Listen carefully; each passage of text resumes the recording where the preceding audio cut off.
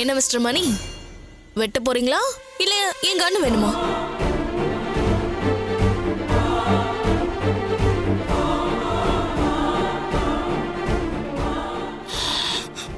எனக்கு இந்த விஷயம் ஏற்கனவே ஏற்கனவே தெரியும்? உமா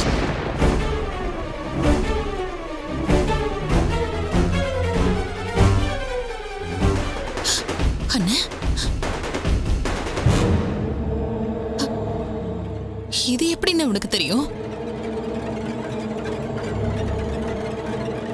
அப்போ எல்லாமே தெரிஞ்சுமா நீ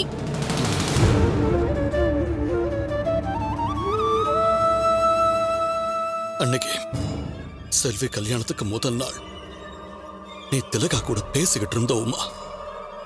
அப்போ தற்செயலா நான் அங்க வந்தேன்.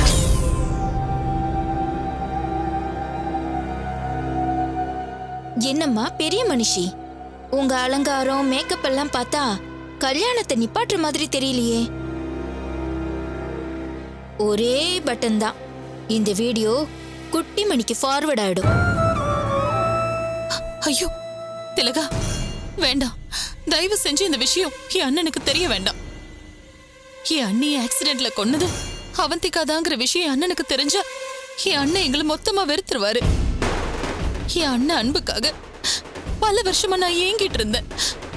இப்ப எனக்கு அது கிடைச்சிருக்கு. எங்களை பிரிச்சிடாத ப்ளீஸ் திலகா நீ பிரியா கல்யாணம் நடக்கணுன்றதுக்காக ஏதோ தெரியாம நடந்த ஆக்சிடென்ட வச்சு எங்களை மிரட்டிட்டு இருக்க. ராதாமா எங்க சொந்தம். வேணும்னே நான் அவங்களை இந்த மாதிரி பண்ணுவேனா? கொஞ்சம் யோசிச்சு பாரு. இன்னும் சொல்ல போனா என் அப்பாவுக்கு கிட்னி கொடுக்க சம்மதம் சொன்னதே அவங்கதான். நான் போய் அவங்கள கொல்லுவனா? தெரியாம பண்ண தப்புக்கு நானும் அத்தையும் ஏற்கனவே நரக வேதனை அனுபவிக்கிறோம். அத்தை மணி அப்பா முகத்தை பார்த்து பேசவே அசிங்கப்படுறாங்க. நேர்மையா இருக்கிறவங்களுக்கு இதை விட பெரிய தண்டனை என்ன இருக்கு? அதையே அத்தை அனுபவிக்கிறாங்க.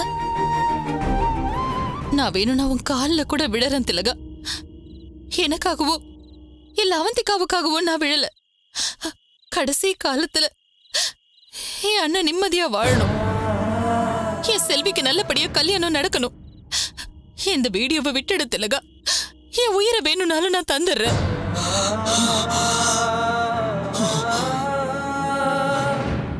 இந்த வீடியோவை அண்ணன் கிட்ட காட்டிடாத திலகா அவர் அதை தாங்க மாட்டாரு.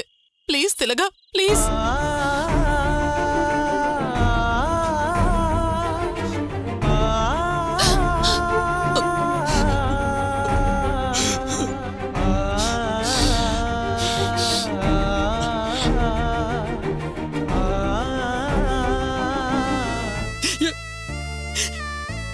என் ராதா அல்பாயுஸ்ல போயிட்டாமா? அது அது என்னைக்கு எனக்கு வருத்தம் தான்? மறுக்க மாட்டேன். ஆனா அதே சமயம் ஒரு அண்ணனா அத என்கிட்ட இருந்து என் தங்கச்சி மறைக்கிறதுக்கும் காரணம் என்னன்னு எனக்கு புரியுதுமா? ஒரு பக்கம் அண்ணி போயிட்டாங்களேன்ற துக்கத்துக்காக அழுதுகிட்டு இன்னொரு பக்கம் இந்த முரட்டு அண்ணனையும் கைவிடாம பார்த்துக்கிட்டு அதே சமயம் உன்னோட மருமகளையும் எக்காரணத்தை கொண்டு காட்டி கொடுத்துடாம பாதுகாக்கணுங்கிற தவிப்பு போராட்டம் அவஸ்தை. ஐயோ உமா. போதுமா போதும். நீ நிம்மதியா இருக்கணுமா? அதுதான் முக்கியம். அதாமா எல்லாம் தெரிஞ்சிருந்தும் எதுவும் தெரிஞ்ச மாதிரி காட்டிக்காமலேயே நான் இருந்துட்டேன். அப்பா என்னாலதான் இந்த நிலைமை இதுக்கு நீங்க என்ன தண்டனை கொடுத்தாலும் பரவாயில்ல. சாகுற அளவுக்கு கூட நான் போயிட்டேன்ப்பா. ஆனா என் பசங்களை விட்டுட்டு என்னால சாக முடியல. என்ன மன்னிச்சிருங்கப்பா. இல்லம்மா. அண்ணா நான் பயந்தது உண்மைதான். ஆனா நீ எல்லாமே தெரிஞ்சிருந்தும் பெருந்தன்மையா இருந்துட்டியே. என்ன இருந்தாலும் நான் சின்னவ தானே. அத நீ எனக்கு புரிய வச்சிட்டேன்னு. அப்பவே நான் உன் கால்ல வந்து விழுந்திருக்கணும். இல்ல. எல்லாமே ஏன் தப்பு தானே ஏன் தப்பு தானே என்ன மன்னிச்சிருந்த? என்ன மன்னிச்சிருந்த என்னது?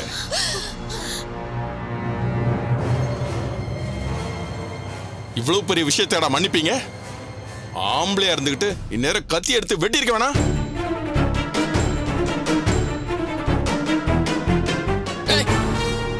இந்த மாதிரி கிரிமினலுக்கெல்லாம் பாசத்தை பத்தி என்னடா தெரியும்? பழிவாங்க தான் தெரியும். ஆமா கோவப்பட்டா கிரிமினல் ஆயிடுவாரா? பார் இது எங்க குடும்ப பிரச்சனை. இதை நாங்க பாத்துக்கிறோம். வெளியே போ. ஏய் இப்ப கூட நான் நினைச்ச கேஸ் ஃபைல் பண்ண முடியும். ஹலோ நான் புகார்னு ஒண்ணு கொடுத்தாதா? நீ கேஸே ஃபைல் பண்ண முடியும். நான் ராதாவோட புருஷன்.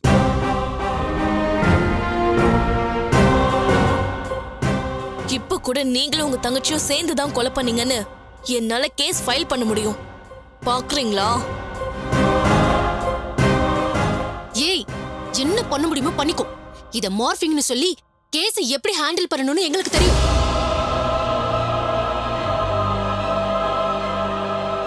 அக்கா இத தெரியாம பண்ணாங்க. அத வச்சு நீ மிஸ்யூஸ் பண்ணணும்னு நினைச்ச அதை எப்படி சரி பண்ணணும்னு நாங்க பாத்துக்கிறோம். நீ பண்றது பண்ணிக்கோ.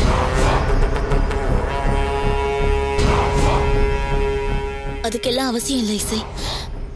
எப்போ மணி அப்பாவே என்ன மன்னிச்சிட்டாரோ? இதை ஒத்துக்கிட்டு நான் ஜெயிலுக்கு போகவும் ரெடியா இருக்கேன். ஆனா இதுக்கு மேலேயும் திலீபனுக்கும் உனக்கும் கல்யாணம் நடக்கணும் கனவுல கூட நினைச்சிடாத.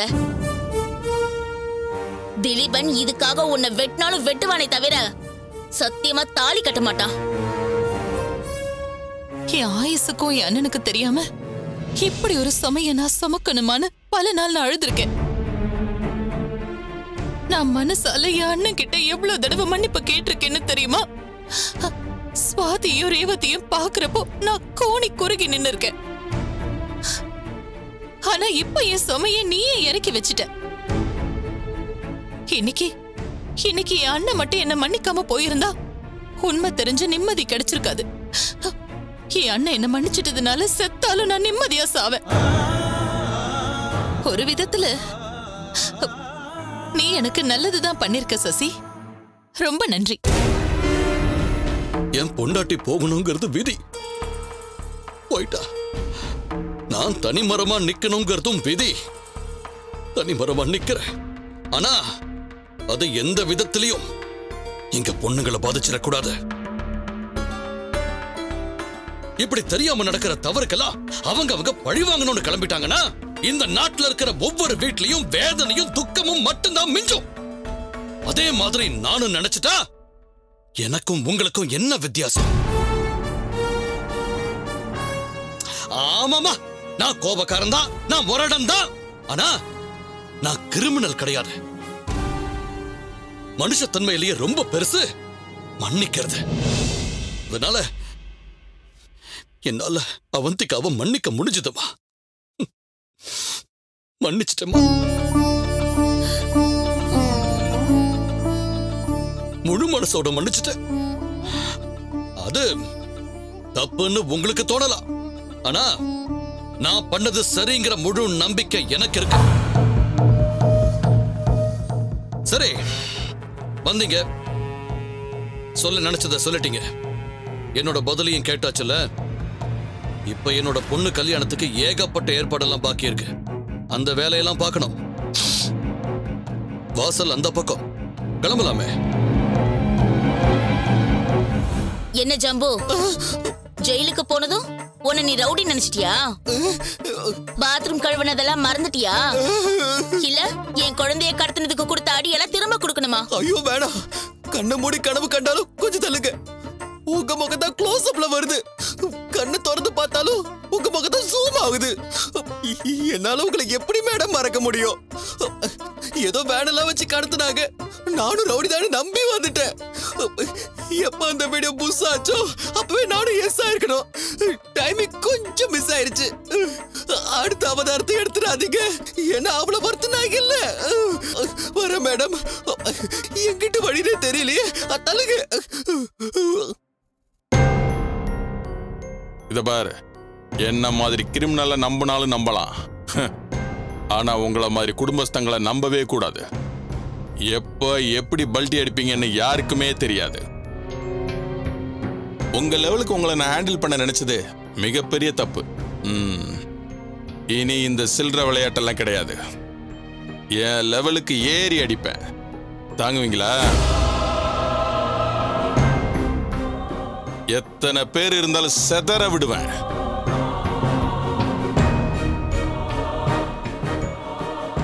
எங்கடா இருக்கோன்னு தவிக்க விடுவேன். பார்த்துக்கிட்டே இருங்க. ஹ, எங்க சசிக்கு கல்யாணத்தை எப்படி நடத்துறேன்னு பாருங்க. ஓ சசி.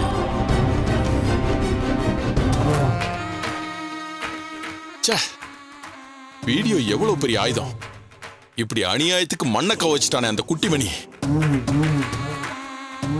நான் தான் ஆரம்பத்திலே சொன்னேன்ல அந்த அவந்திகா டெரரு நம்ம பாச்சாலாம் அவகிட்ட பலிக்காதுன்னு ஏற்கனவே குழந்தைய கடத்தினதுக்கே நடிச்சு துவம்சம் பண்ணுவாவ மொத்தத்துல நம்ம ஆட்டம் க்ளோஸ் சிஸ்டர் நான் என்ன சொன்னேன்? நீங்க இன்னும் ஆட்டத்துல தான் இருக்கீங்க. என் ஆட்டம் தான் க்ளோஸ் தர்மா இந்த கல்யாணம் நடக்கணும். நடக்கும். ஆனா யாருக்கும் யாருக்குன்னு தான் டேய் சசிக்கு தான் திலீபன். அது மட்டும் நடக்கல. ஒட்டுமொத்த குடும்பத்தை தூக்கிட வேண்டா. சசிக்கு இல்லாத திலீபன் இனி இந்த சுவாதிக்கு மட்டும் இல்ல இந்த உலகத்திலே இருக்கக்கூடாது. சசி இதுக்கு தான் நான் பயந்தேன். என் பொண்ணுக்கு வாழ்க்கை கிடைக்குதோ இல்லையோ? இந்த கல்யாணத்தினால யார் உயிரும் போகாம இருக்கணும். ஏய். அந்த குடும்பத்தை அழிக்கணுங்கிறது என் முப்பது வருஷத்து வெறி. அதை தடுக்க யார் வந்தாலும் வெட்டுவேன் அப்பா அம்மாவை விடுங்க. உங்க கோவத்தை அந்த குடும்பத்து மேல காட்டுங்க. ஆரம்பத்துல இருந்து திலீபனை கட்டி வைக்கிறேன்னு சொல்லி வாக்கு கொடுத்தது நீங்க தானே? முடியலன்னா சொல்லுங்க. போலீஸா நான் இதை வேற மாதிரி ஹேண்டில் பண்ணிக்கிறேன். சசி இதுவரைக்கும் நான் எப்படின்னு நீ பார்த்ததில்ல. அதான் இப்படி நம்பிக்கை இல்லாம பேசிட்டு இருக்க. ஏதோ ஒன்னு ரெண்டு விஷயத்துல நமக்கு சறுக்குனது உண்மைதான். ஆனா அது எல்லாமே உன் வேலைக்கு பிரச்சனை வந்துடக்கூடாதுன்னு நினைச்சதால வந்தவன. இனி நான் பழைய தர்மாவா மாறித்தான் ஆகணும். இல்லைன்னா அந்த குடும்பத்துக்கு மட்டும் இல்ல எனக்கும் என் மேல நம்பிக்கை இல்லாம போயிடும். ஜெயில் வாழ்க்கை என்ன நிதானமாக்கல. நான் இன்னும் அதே தர்மாவா தான் இருக்கேன்னு உனக்கும் அந்த குடும்பத்துக்கு நான் புரிய வைக்கிறேன். மாமா சொன்ன மாதிரியே திலீபனை உனக்கே கட்டி வைக்கிறேன். முதல்ல நீங்களாம் கோயில் கிளம்புங்க. சொல்லாத தர்மா செய். என் பொண்ணுங்க வாழ்க்கை என்னை பார்த்து ஏளனமா சிரிக்குது. நம்ம தோத்ததை நினைச்சு இப்ப அந்த உமா குடும்பம் குதூகலமா இருக்கும். இதுதான் சரியான நேரம். என்ன செய்ய போற?